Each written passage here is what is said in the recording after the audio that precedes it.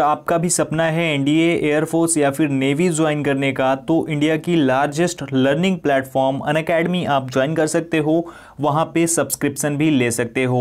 वहाँ पे plus subscription अगर आप लेते हो तो आपको अनलिमिटेड लाइव क्लासेस मिल जाएँगी रिकॉर्डेड कोर्सेज मिल जाएँगे। उसके लिए आपको बहुत ही कम पे करना होगा और रेफरल कोड का यूज़ करोगे तो आपको काफ़ी ज़्यादा डिस्काउंट भी मिल जाएगा। साथ ही साथ आपको अन अकेडमी पे बहुत सारे टीचर्स मिल जाएँगे और वहाँ पर क्विज़ लगाने का भी भी मौका आपको मिल जाएगा। बहुत जल्दी मेरी भी लाइव क्लासेस आपको वहाँ पे देखने को मिलेंगी और वहाँ सब कुछ आपको फ्री प्रोवाइड कराया जाएगा। अगर आप फ्री में पढ़ना चाहते हैं, अगर आप प्लस में जाना चाहते हैं, फिर आपको पे करना होगा। तो अगर आप ज्वाइन करना चाहते हैं तो डिस्क्रिप्शन में लिंक है, उसके थ्रू जाइए और ज्वाइन कीजिए। मैं आपको अपनी जो आईडी है वो भी दिखा देता हूँ। तो अब मैं अन अकेडमी पर रजिस्टर हो चुका हूँ। काफ़ी टाइम पहले से मैं था, लेकिन अभी कुछ टाइम बाद आपके लिए लाइव क्लासेस लेकर के भी आ जाऊँगा मैं। अगर आप मुझे फॉलो करना चाहते हो तो देख सकते हो, मेरी ये आईडी है। अन अकेडमी पर जा के सर्च करके आप ज्वाइन कर सकते हो, या फिर डिस्क्रिप्शन में आईडी का लिंक है, उसके थ्रू जा के भी मुझे ज्वाइन कर सकते हो अन अकेडमी पर जल्दी मिलेंगे वहाँ भी। चलो अभी शुरू करते हैं और बात करते हैं हमारे टॉपिक पे। कई इंडियन कोस्ट गार्ड के लिए जो नाविक डीवी की वैकेंसी आई हुई है एक 2021 बैच के लिए, उसके लिए आप लोग पूछ रहे थे कि मैं इस जोन से हूँ, इस स्टेट से हूँ, मेरे पास कितने परसेंटेज होने चाहिए ताकि मैं अप्लाई करूँ? मेरे पास एलिजिबिलिटी तो है, लेकिन क्या मुझे अप्लाई करना चाहिए? ऐसे सवाल थे आप लोगों के। तो जल्दी जल्दी उन सभी सवालों का जवाब देने वाला हूँ इस वीडियो में। आगे बढ़ेंगे, लेकिन उससे पहले बोलना चाहूँगा कि अगर आप चैनल पर नए हो, अभी चैनल को सब्सक्राइब नहीं किया है तो सब्सक्राइब करके बेलाइकन को ज़रूर प्रेस कर देना। ऐसी वीडियो सबसे पहले पाने के लिए। गाइज़ देखो, इसके लिए जो जो ऑनलाइन एप्लीकेशन की डेट है, वो 30 नवंबर से लेकर के 7 दिसंबर 2020 के बीच में है। और अगर आपका एडमिट कार्ड आ जाता है, आप शॉर्ट लिस्टेड होते हैं तो आप डाउनलोड कर पाएँगे अपना एडमिट कार्ड 19 दिसंबर से 25 दिसंबर 2020 के बीच में। ठीक है, ये चीज़ क्लियर है।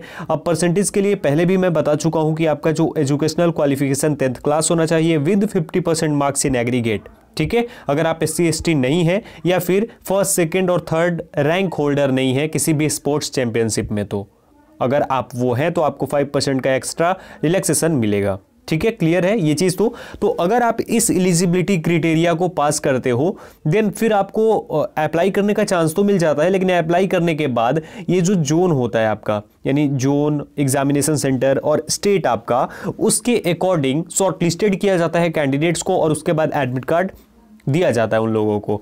तो आपको मैं बता दूँ कि जो प्रीवियस वैकेंसीज आई हैं इंडियन कोस्ट गार्ड नाविक के लिए तो उसके लिए जो परसेंटेज होता है वो हाइयर जाता है, कुछ राज्यों में लोअर भी जाता है। मतलब ये डिपेंड करता है कि आपके जोन में, जो आपका जोन है, वो कौन सा जोन है, उसके बाद आपका सेंटर कौन सा है और आपके स्टेट से कितने लोग अप्लाई करते हैं। ये सब चीज़ें उस पर डिपेंड करता है सब कुछ। अगर ये सब है ठीक ठाक तो फिर आप एलिजिबल हो जाते हो या ऐसा बोले कि शॉर्ट लिस्टेड हो जाते हो। शॉर्ट लिस्टेड होते हो, तभी आपको एडमिट कार्ड मिलता है। तो अगर हम बात करें जोन वाइज तो देखो, ये क्लियर बोल पाना कि ये जोन ईजी है, ये जोन खतरनाक है, ऐसा नहीं है आसान, क्योंकि अगर हम नॉर्थन जोन को देखें, यहीं पे सामने तो इसमें हिमाचल प्रदेश भी है, जम्मू कश्मीर भी है, लद्दाख भी है, और साथ ही साथ उत्तर प्रदेश भी है, हरियाणा भी है, राजस्थान भी है। तो ये जो तीन राज्य है ना, ये बहुत हाइयर परसेंटेज वाले राज्य हैं। तो ये नहीं बोल सकते कि ये ईजी वाला है। वैसे अगर सेम देखें नॉर्थ ईस्ट जोन को, जिसका कोलकाता और भुवनेश्वर सेंटर पड़ेगा, वहाँ पे देखो, अगर मेघालय है, मणिपुर है, अरुणाचल प्रदेश है, नागालैंड है, त्रिपुरा है, जो कि थोड़े कम परसेंटेज वाले हैं। तो साथ ही साथ बिहार, झारखंड वेस्ट बंगाल ये सब भी है। बिहार, झारखंड तो खास, ये दो हैं जो कि बहुत हायर परसेंटेज वाले स्टेट्स हैं। तो इस तरीके से चीज़ें होती है। तो ये बोल पाना कि इस जोन में कम जाएगा, इस जोन में ज़्यादा कट ऑफ़ जाने वाला है, ये इजी नहीं होता है। लेकिन अगर मैं आपको बताऊँ तो देखो, आपका जो कट ऑफ़ है वो हायर रहता है एटी परसेंट तक तो चांसेस बहुत ज़्यादा हो जाते हैं। इससे ज़्यादा भी परसेंटेज आता है। 90 परसेंट वालों का भी एडमिट कार्ड आता है किसी किसी स्टेट में। लेकिन अगर आप अप्लाई ही नहीं करते हो, अगर आपके पास एलिजिबिलिटी क्रिटेरिया है तो आप अप्लाई नहीं करते हो तो फिर आपको पता कैसे चलेगा? अगर आप अप्लाई करोगे तो उसमें तो आपका कुछ जाएगा नहीं, क्योंकि आपको कोई भी फ़ी नहीं देनी है। सबसे बड़ी बात यह है और उसके बाद आप खुद से, अपने फ़ोन से सिर्फ़ पाँच से सात मिनट में अप्लाई कर पाओगे। तो ये सब चीज़ें आपके लिए ईजी है तो फिर अप्लाई करने में क्या दिक्कत है? वैसे एक चीज़ की गारंटी मैं नहीं ले सकता हूँ कि आपका हंड्रेड परसेंट जो है एडमिट कार्ड मिल ही जाएगा आपको, लेकिन इससे कुछ चीज़ें सीखने को मिलेंगी, कुछ एक्सपीरियंसेस आपको होंगे जो कि आपको पता चलेगा। और ये चीज़ें बहुत ही ज़्यादा फ़ायदेमंद होती है। मान लो आप फ़र्स्ट टाइमर हो, ठीक है? अभी आपकी एज हुई है और इसी टाइम पर आपने ये कर दिया। मे बी नेक्स्ट टाइम में ये जो है ऑनलाइन हो जाए, ऐसा भी तो हो सकता है नाविक के लिए।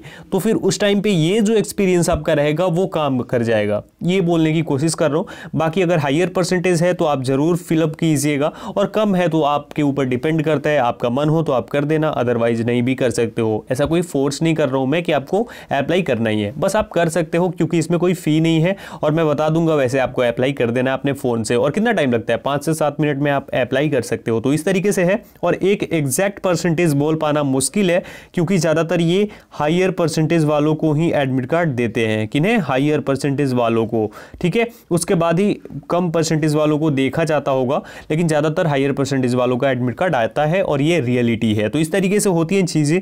अगर आप इसमें आते हो, इस क्रिटेरिया को फॉलो करते हो देन आप अप्लाई करना है अदरवाइज़ देख लो आपको क्या करना है। तो इस वीडियो में ये बताना था आई होप कि मैंने क्लियर कर दिया हो। अभी भी आपके मन में कोई डाउट है तो कमेंट सेक्शन में कमेंट करके पूछ लेना। वीडियो को लाइक एंड शेयर ज़रूर कर देना। अच्छी नहीं लगी हो तो डिसलाइक भी कर सकते हो। इस वीडियो में इतना ही। Thank you so much guys